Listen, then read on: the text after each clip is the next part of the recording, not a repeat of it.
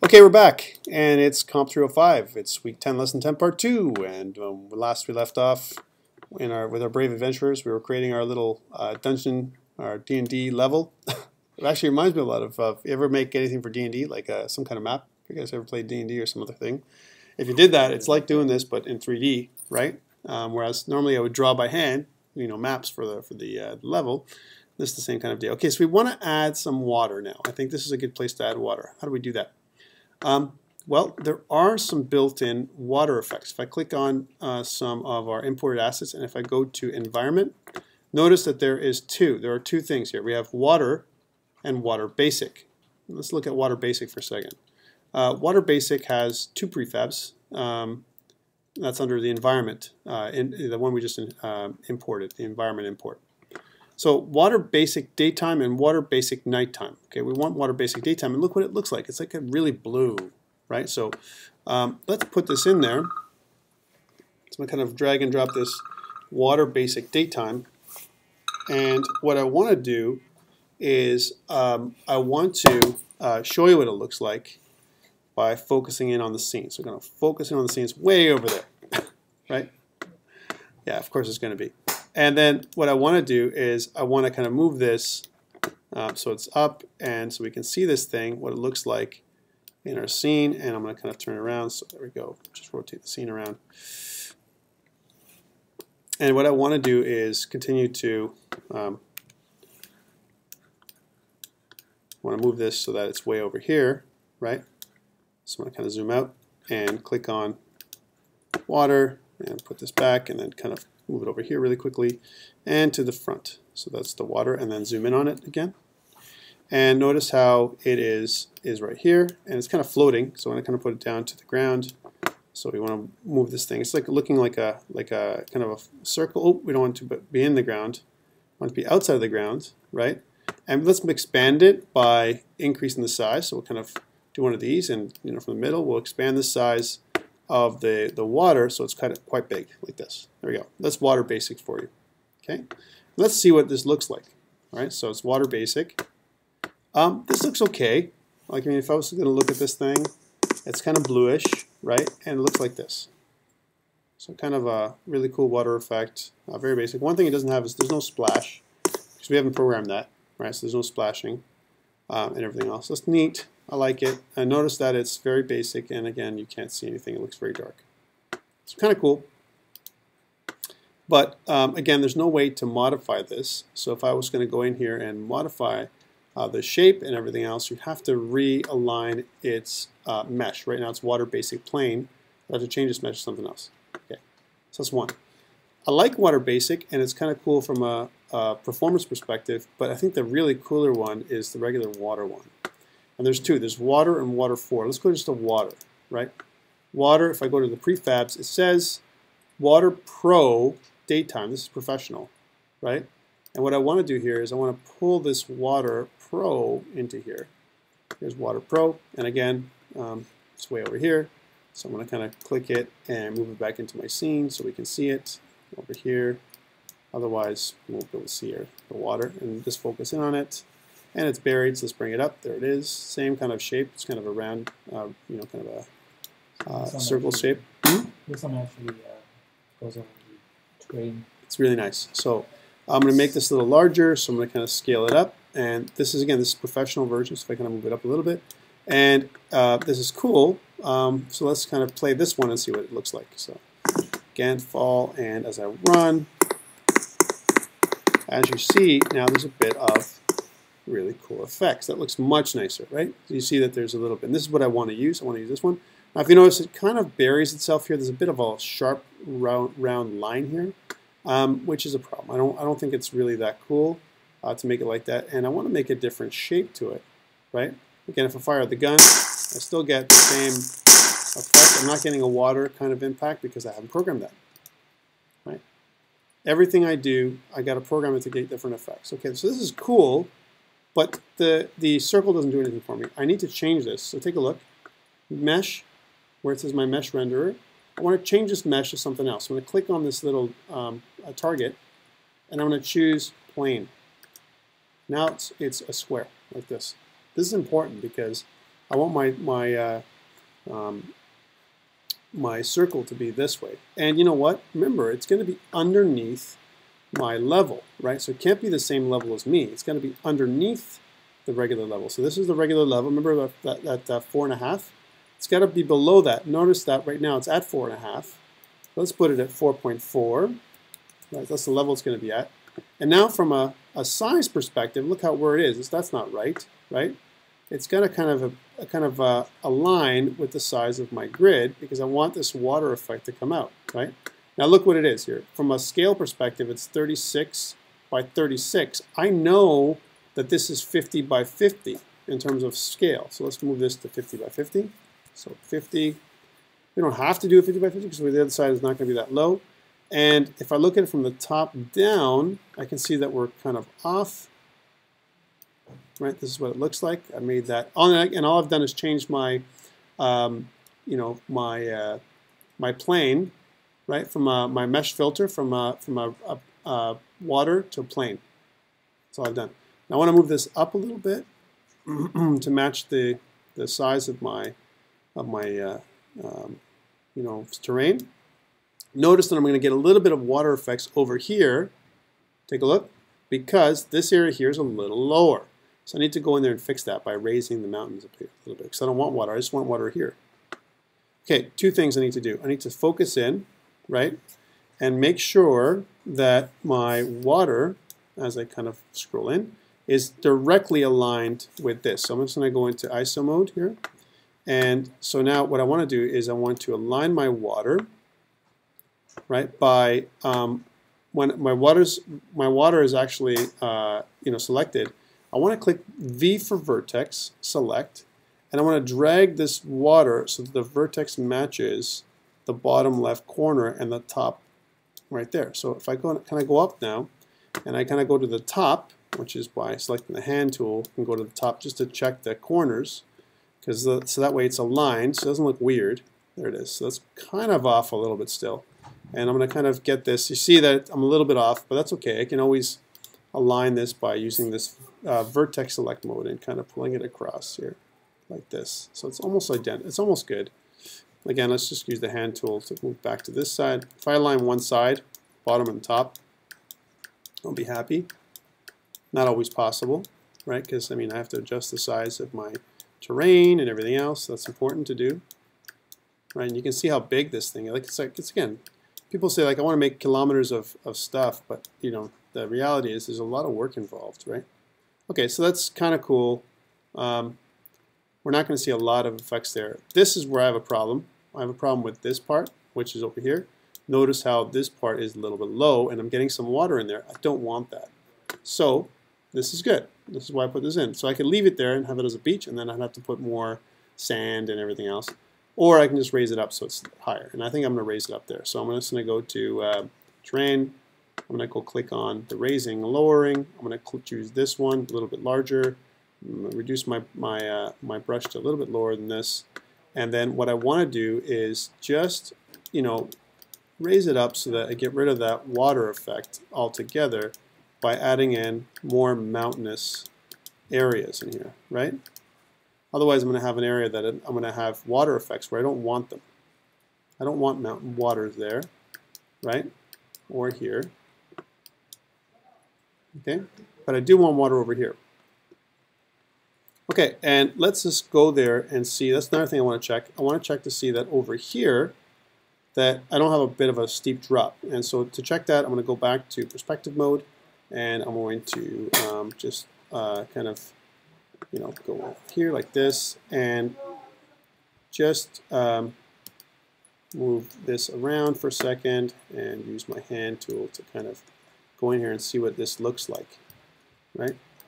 Not bad. I mean, it, it kind of kind of go, goes up to the beach. There isn't any movement to the water right now. You notice that it just stays there like this. There's no like, you know, it's not affected by, by wind or by any kind of tide. I haven't made that happen, right? Remember, this is a very simple water effect, like a lake more than anything else, right? Okay, um, let's run this thing to make sure how, how the actual player sees it, which is always very important. And I'm going to run there really quickly, so I'm going to kind of use a shift key and press my W key to run. Also good to know where we're at with this, and then we'll add some uh, interesting uh, trees really quickly. La, la, la. Oh yeah. I'm just going to just leap there like a Superman. And there's some other effects we can add in there uh, to reduce our jump. For example, I can add my multiplier, my gravity multiplier to like you know to make it even more difficult. Okay, that's cool. So there's some. This is a little bit of a stream here, so that's where it is. I think I still should have. I mean, again, it looks more natural the way it's like wrapping, so it's not as even. But I think I could have done more work here to, either to either raise or lower this area a little bit more. And I did it better in the first class. Um, again, as I come down the shore here, I probably could have added more. Now that I see where the um, where the water is, I could have added more sand and, and pebbles and all that kind of stuff to make it more realistic. But this isn't bad. And if I look, if I actually was to go in here, you can see that I can go, whoa, right into the water. Because I'm really deep down here, right? Like I'm actually in the water. So how would I do water effects? Like you can't tell I'm actually in the water right now. And remember I told you this is kind of a bit of a drop, right? So if I kind of come up, and then as I come up to the water level, there I am again. So I'm kind of swimming. Remember, like this is almost like normally, like I normally normally would swim, right? And you can see that there's more of a water-like effect here, right? And I'm I'm moving because, you know, I'm actually on uh, on ground. I could add buoyancy when I'm in the water, and all this kind of stuff as well. But as I go really deep, like this little drop down here, um, I could add a different effect when I'm inside the water by adding a volume. So right now my shape of my water um, is a, plane. I could make it a box, right? And if I made it a box, the box would be have thickness and everything else. I could give it so that the water effect is throughout the entire box that's thick as opposed to just a plane, depending on what I want. Okay, cool. Um, we're close to getting what I want. Um, not exactly as perfect as the first class, but who cares?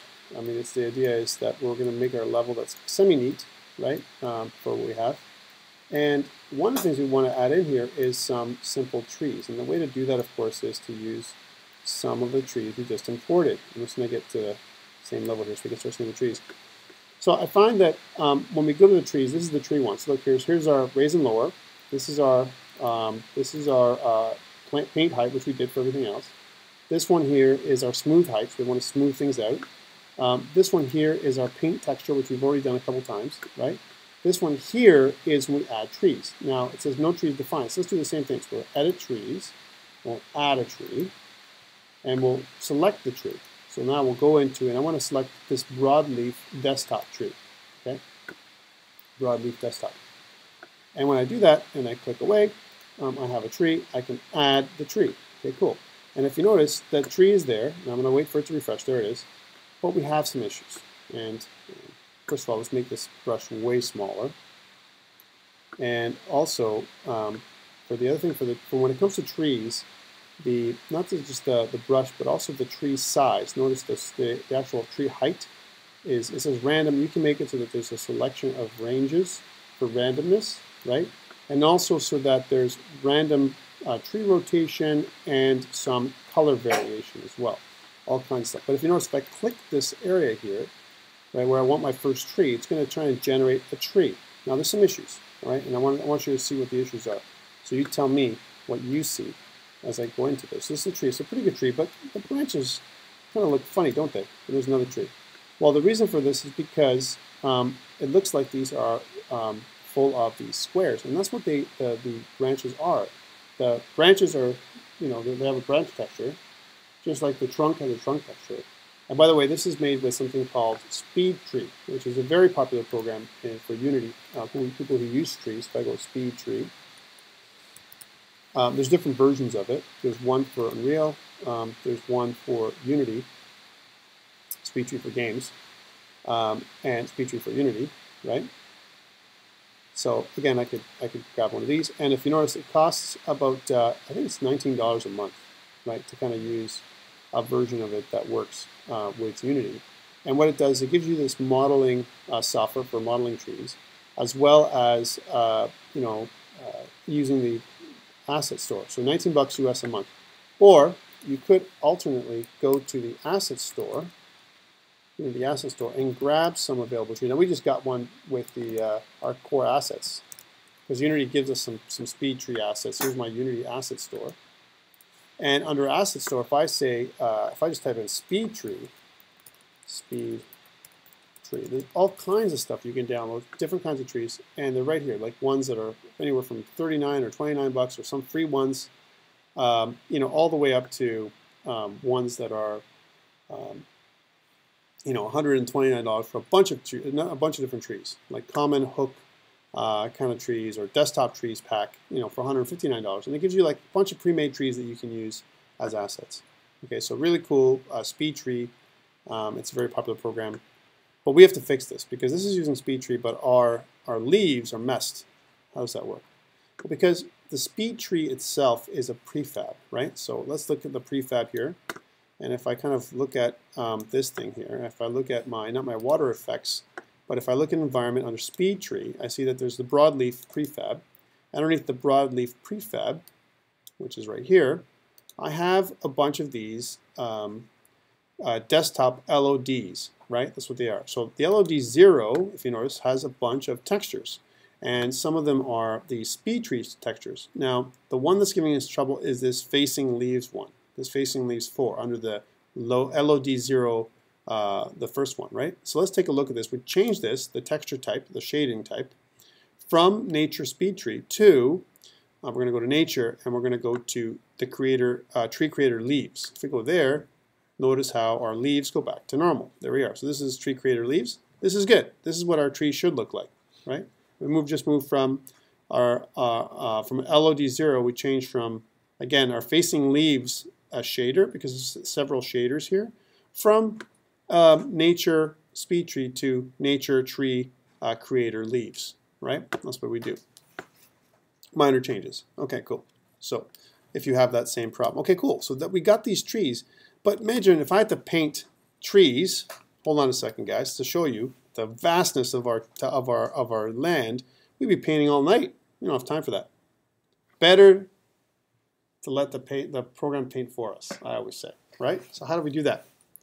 let's first get rid of these trees. And the way we do that is if we go to our terrain and we look at tree, and if I, if I make the our brush size very big, like this, um, as an example, and if I press shift and click, it gets rid of my trees. So I can get shift and click to remove trees. Okay, cool. Let's add trees by clicking this mass place trees option, right? Mass, tree, mass place trees. There we go, mass place trees. Hey, it looks like it wants to add 10,000 trees. Do we want to add 10,000 trees to our scene? I don't think so. So let's move this down to like 400. That's more like it. So 400 trees, and let's press enter. Boom. And when I do that and place pace, place, then I do this. I got this many trees, like this. This is pretty good. It's like a little forest. Take a look. That's pretty good, right? I need to clean these up now because there's way too many trees and they're all in the wrong places. Like there's trees inside the water, right? So I, am going to use shift and click to get rid of some of these trees, starting with these ones. So I'm going to go shift and click get rid of these trees. I'm just going to get rid of the ones that are in the water because it doesn't make any sense, and on the mountaintops because that doesn't make any sense. So all these ones here. Easier for me to clean up trees than to add trees by far, right? So just clean these trees up, let that tree up. Just got rid of all the bunches. You don't want that. Okay, so all these trees got to be cleaned up, but the other trees are all there. And again, um, you can see that what I'm doing is I'm around these areas where the trees don't belong. I want to kind of go in there and try to remove some that makes no sense, like especially around here in the mountains. Now, there's going to be trees in the mountains, but just not these trees. Maybe, and we can paint one tree at a time when it comes to those trees. let me go into, zoom in here, to really deal with some of these ones because you know what? It's one thing to do a mass retreat like that, and another one where there's some trees in here that we just got to get rid of, like these ones. Um, so I'm just going to click this tree again and right click and just get rid of all this. Okay, wrong one. There we go. So get rid of some of this. So the first trees don't start till later in. And then let's go and lower our brush and get rid of some of the smaller ones even more. Get rid of some of the smaller ones. Just target these ones that are really annoying me, right? So again, right here, and again, what I want to do is I want to focus in on the areas where we don't really, trees don't make any sense, like any anywhere in here, in this line here. So let's just make a tree and shift click just to get rid of some of these ones. So I'm getting rid of the trees and Now you notice that, that the trees, if we're in the in the actual tree level, looks like this. That's pretty good. So when to kind of go in here and make sure that there's no other trees that um, that are kind of impacting us, like this one. This is a kind of another area. Oops, trying trees that are um, you know areas that we don't want to get rid of. Oops, and pull back. That's pretty good. Okay, so let's let's test this out now. Uh, we've added our trees. We'll save my scene, and I'll press play, and let's see what the trees look like as I move forward. Now, we had a kind of a problem with this earlier today, but let's see if I can if I fix this problem. So I'll run to the trees. Run! And if you notice how long it takes for me to run to these trees, like a long time.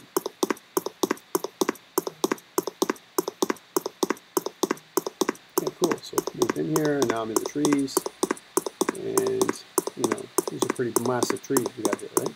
And I could lower them by changing the variation in levels, but this is pretty good. Like we, you know, we got some really cool cover.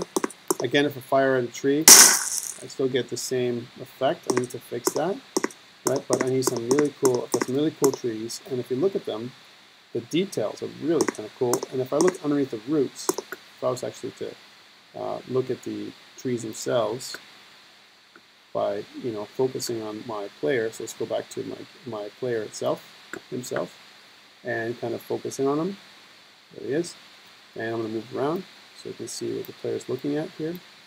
Here's a tree. If I actually was to go underneath the level, right, so just like by pressing this and pressing up, you can see that underneath the level, my trees actually have roots. See?